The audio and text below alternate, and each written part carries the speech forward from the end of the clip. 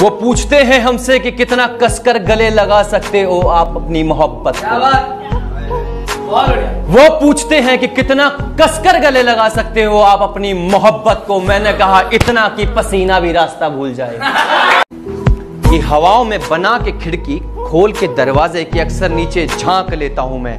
और सुन जितनी मोहब्बत तूने अपनी गर्म सांसों से करी थी मुझे यहाँ उससे ज़्यादा तो खड़े खड़े ही हाँफ लेता हूँ। Subscribe now and press the bell icon. Never miss an update.